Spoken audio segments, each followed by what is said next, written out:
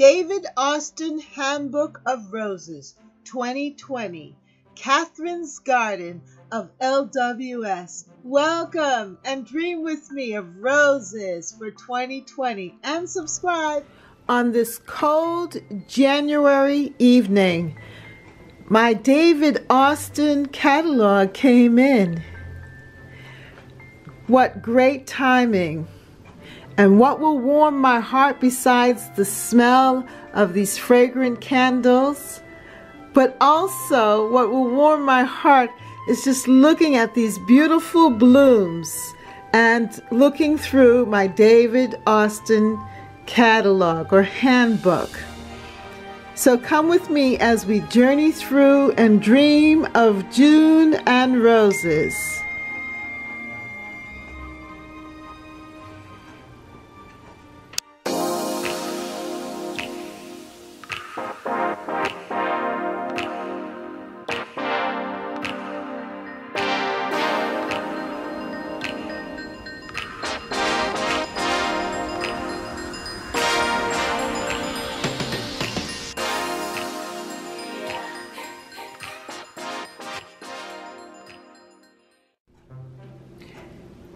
Hello and welcome to Catherine's Garden.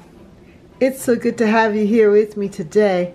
And I received my David Austin Handbook of Roses that came in for 2020. I have been very fortunate to have a large selection of roses in my garden, but there's always room for a new one, and especially a David Austin rose.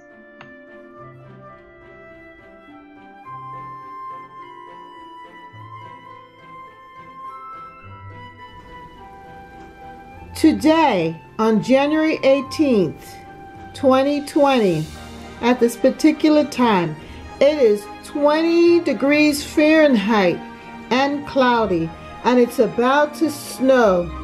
Wow.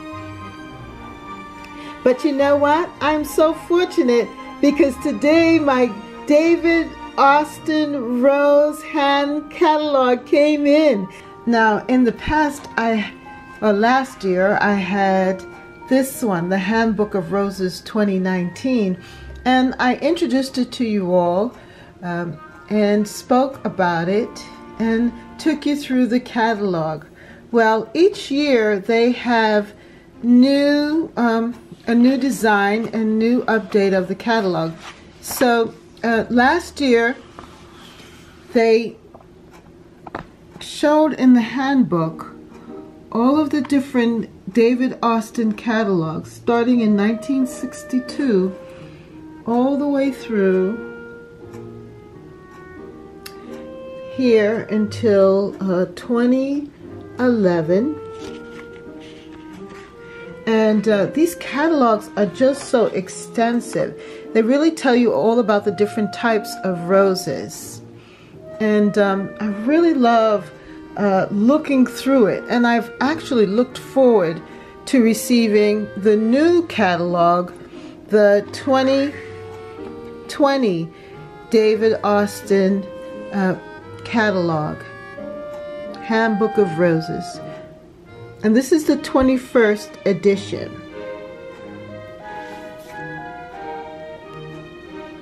And this is a USA edition.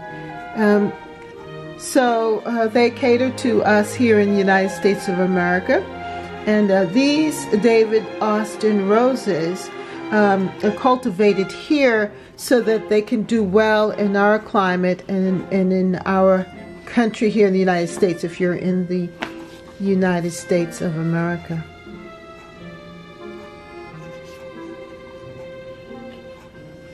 I love the symbol David Austin. It's beautiful.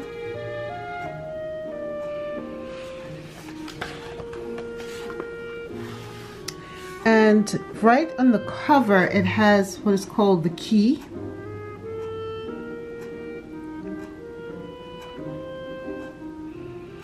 And I think that this is great. It tells you about the different sizes the types of roses. The very tall ramblers.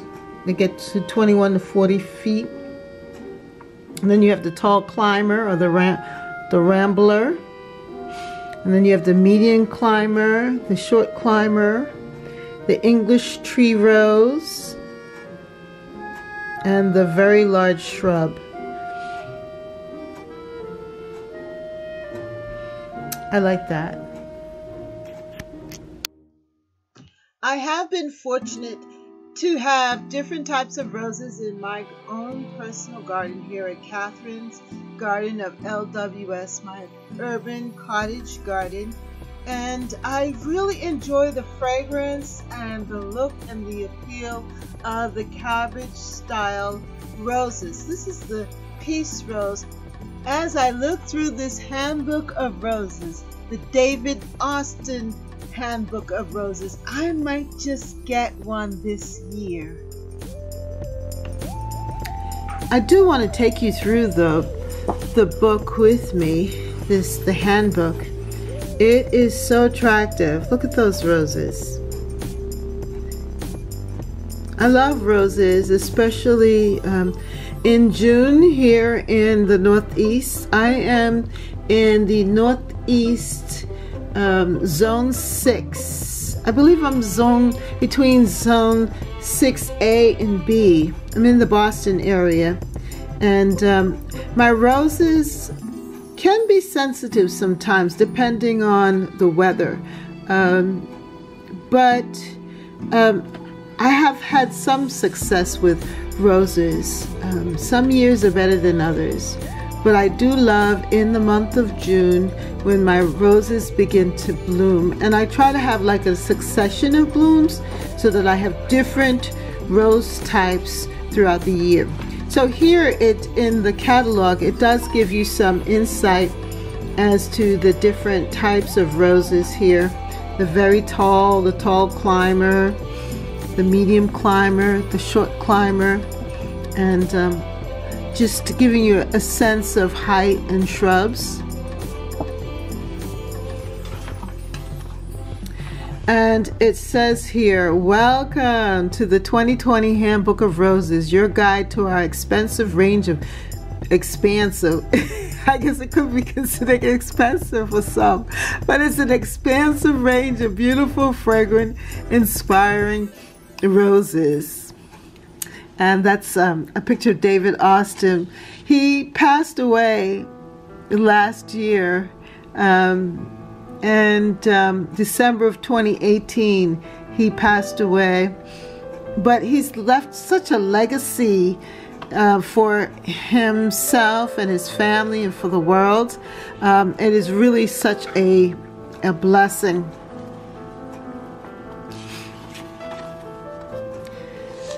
And um, you you have a five-year guarantee expert advice and aftercare bred in england and grown in the usa so staying true to our roots. Our roots are bred in in Shropshire, england then grown in the usa for your enjoyment.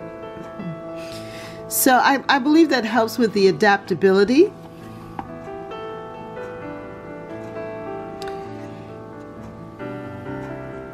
So in the handbook, it, it gives a, a lot of information. It definitely is a handbook. Introduction of roses, Stars in the Garden, David Austin and the English Rose, David Austin, A Life Led in Full Bloom, What Makes an English Rose, The Introduction to Bloom Style and Fragrance Types, Introduction to Rose Types, uh, 20 Years in the United States, New Roses for 2020, and then a spotlight rambling English countryside, spotlight purple partnering plants, and spotlight modern arches.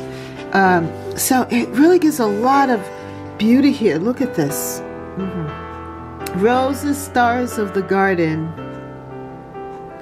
And it's true that roses have a classic beauty. They're complementary to the garden and something very much um, to look forward to. I love when as I said, June comes around, and I know that my roses are going to bloom along with all of the other companion plants. And there's a certain coloring of that time. The roses in my garden and roses in general tend to be of white to pinks um, to um, apricots. Um, then you have your deep colored roses. So this is a picture of David Austin and the English rose. Very nice. And um, he's just, I mean, this is a man of passion that he believed in roses and to see how he has just taken it fully through his life. I think he um, died at the age of 98 and um, he also left a legacy for his family and others. And um, just, you know, when you do something with a passion and you love it and you help others to love it, that he, the Bible says that the, you will be brought before queens and kings. And David Austin, a senior, is here with Queen uh, Elizabeth at the Chelsea Flower Show in 2016. says, Every day I marvel at my good fortune to have been able to make a life out of breeding roses. My greatest satisfaction is to see the pleasure my roses give to gardeners and rose lovers worldwide, and even to the Queen of England. That is fantastic. What a life legacy. And then it says here, look at that beautiful rose. What makes an English rose? English rose is the term given to roses bred by David Austin. My goal remains the same to try to develop the healthiest roses possible without compromising their beauty, their fragrance, grace, and most importantly, their charm. David Austin. Wow. And I think he's really stayed true to this. Breeding an English rose. And then I like this, his signature style. Beautiful, large, many petaled old rose style blooms, rich and varying fragrance, good health, abundant, repeat flowering. And that's everything that we want in a rose, especially in the garden, I love to see big, thick, juicy roses that are thick and cabbage-like in shape that are rich and varied in fragrance. Oh, in June when my roses come out, it's just the whole garden is so fragrant. When I walk around the corner and enter into the garden, I could just smell and whiff the roses, the smell of the roses, just so outstanding. And so there are different uh, shapes of roses, but then there are also different uh, fragrances. So you have the fruity, the old rose, the myrrh, the musk, the tea rose. And in perfumes, you tend to mostly see or smell the tea rose, that scent of a rose.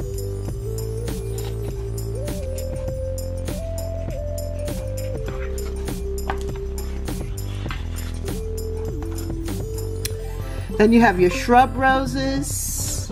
And I love um, shrub roses because they kind of like just fill the landscape and they um, they work well with others, the shrub roses. Then you have the climbing rose, the rambling rose, the English tree rose. And that's a really new or modern way of um, having roses, especially if um, you want to create height in your garden, to have the tree rose is a, a good thing.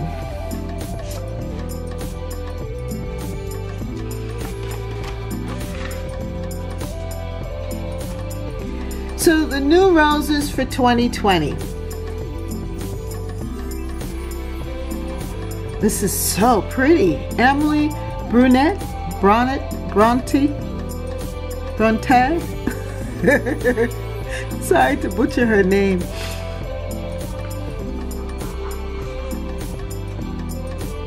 Isn't that a beautiful rose? And that's in honor of this woman. Says the Bronte Society asked us to name the rose to celebrate the bicentennial of the birth of the novelist. And she is the novel, uh, her much loved novel, Wuthering Heights, was published in 1847, a year before her untimely death at the age of 30. Yes, I've heard of Wuthering Heights. I think we'd had to had to read it um, in um, in school, in high school. And here are some others. Here's another one. Isn't that pretty? The yellows. I love this picture. Check that out. It says, I know I said I was only going to look at the new Tottering by Gently Rose, but it's a woman's prerogative to change your mind, darling. That's cute.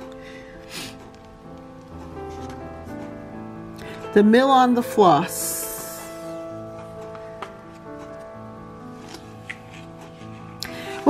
About this catalog is that they offer this information he, here, the keys, the idea for rose border, mixed border, pots and containers, and shady areas. Kind of give you some um, hints on how to really uh, utilize that, um, the rose.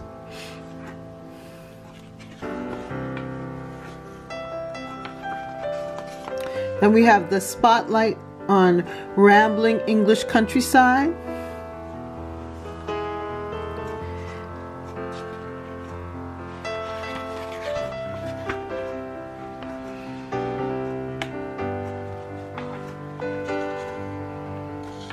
And it talks about the purple partnering plants.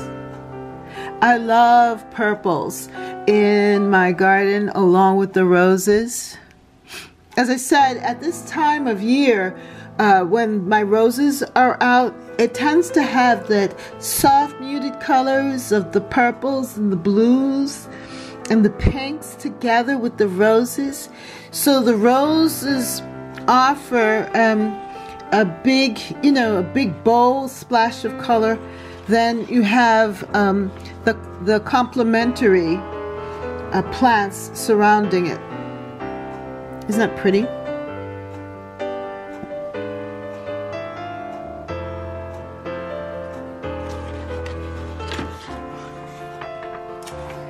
The modern arches ah, so beautiful. Oh my.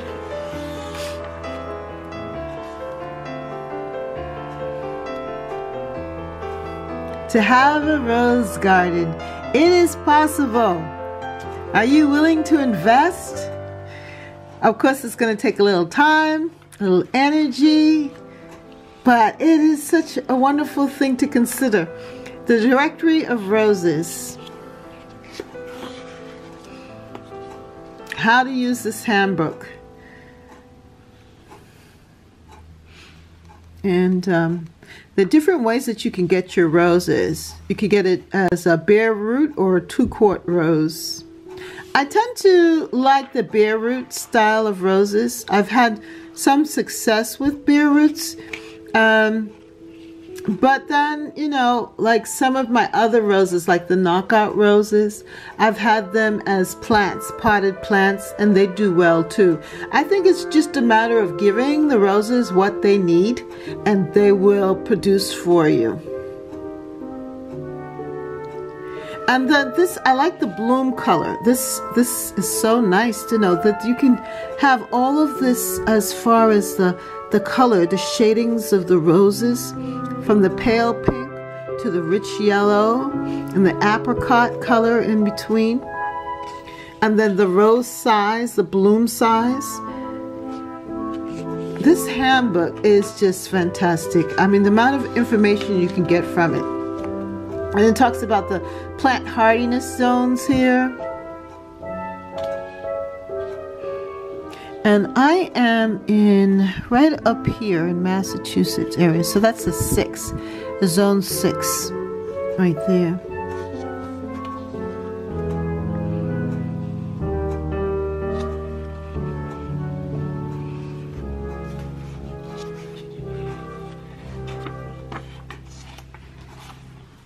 You have the shrub roses.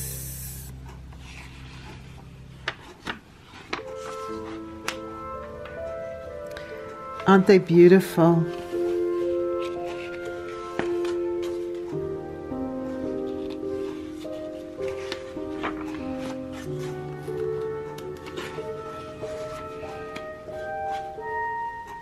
Absolutely pretty.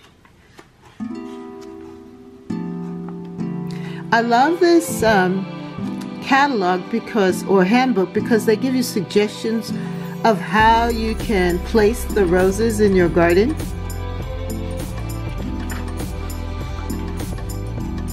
And uh, you can even put roses in containers too. Look at that. It's so dreamy.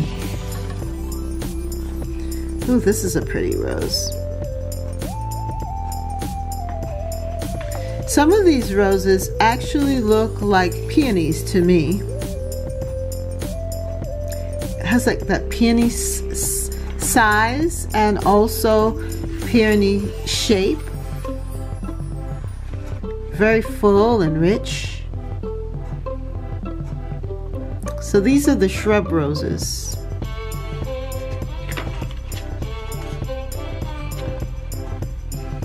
we can see the different colors. This is beautiful. I love that one. It's called the Lady Gardener. It's very pretty.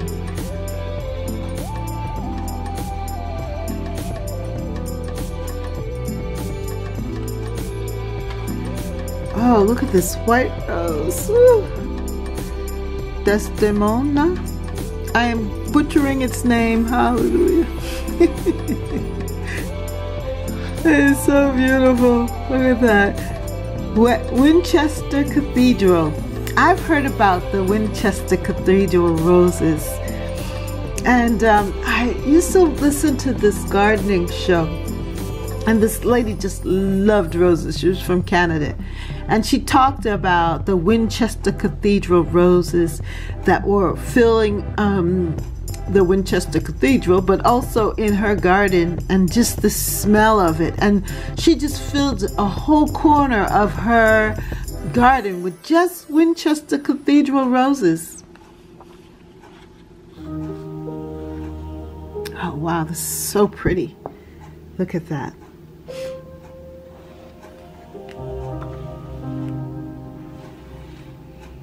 Ooh. Charles Darwin.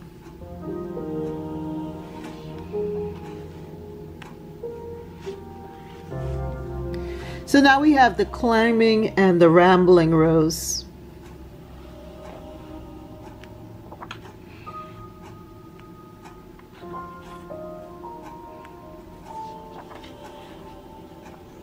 Strawberry, Strawberry Hill.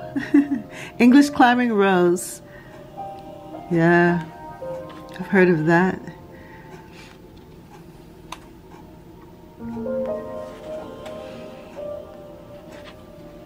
Graham Stuart Thomas, that's an, let me go back. That is a rose that we've heard a lot about. The English Climbing Rose.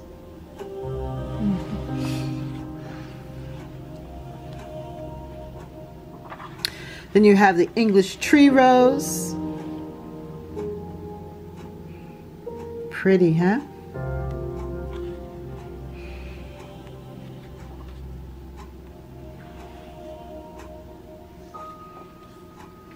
The rose for specific situations with the arches. Could you imagine having a wedding or a party or some sort of, you know, I don't know, a garden party? with all these beautiful roses. So you have um, for best fragrance, best health, best smaller shrubs, best for flowering, very large shrubs, rose borders. I mean, this handbook just gives you so much information. Pre-selected rose variety bundles, English shrub uh, bundles, and then some tools and gifts and rose care. So if you're wondering how to maintain your roses, um, books and suggestions and prints. Wow. The plant hardiness, rose care region, the Northeast. This is up my area here. Maine, New York, New Jersey, Vermont, Massachusetts.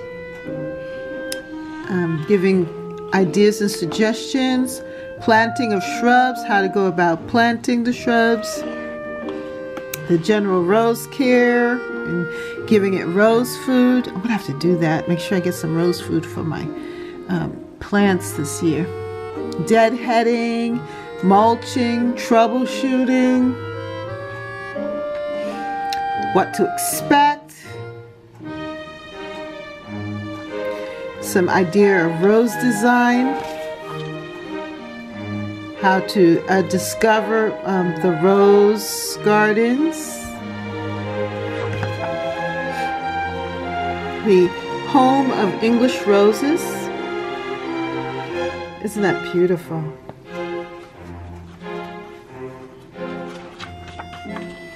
Wow.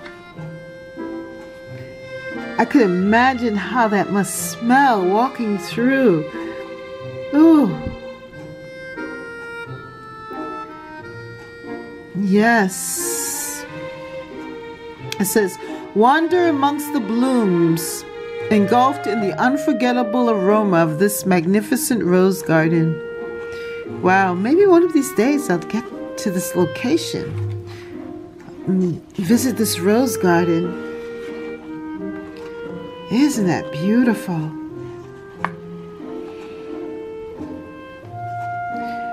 But I'm, I'm visiting it through this handbook. Plant Center and gifts, the restaurants and tea rooms, the Golden Rain, 36 years of RHS Flower Show. I've heard about that um, through Monty Don and the, um, the BBC.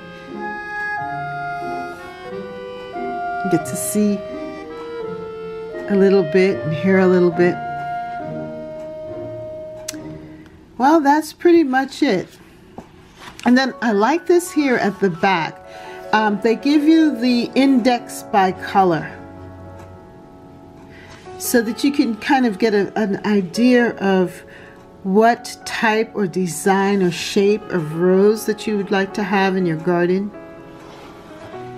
And um, I think this is so, so useful. Look at that.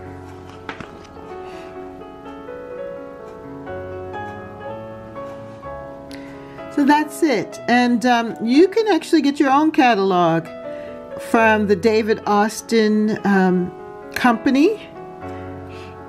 And uh, just at what all I did was that I went to their website and I um, I went to their website and I filled out the information and they sent me the catalog and so that's why I'm not able to share it with you. And so this is the David Austin Handbook of Roses for 2020. Absolutely beautiful. so now I have two. You know that these are treasures. I have the Handbook of Roses for 2019 and now the Handbook of Roses for 2020. Absolutely beautiful. Thank you, David Austin Company. And uh, thank you for coming with me through this journey, through this handbook. And yeah, I recommend that you go and um, order yourself a catalog. If you like this video, then like, share, and subscribe. And comment down below, do you have a David Austin rose in your garden? And if so, let me know what kind and what are your suggestions. And then thank you so much for watching um, this video. Please subscribe to Catherine's Garden and see you next time here in my urban cottage garden, Catherine's Garden. Bye!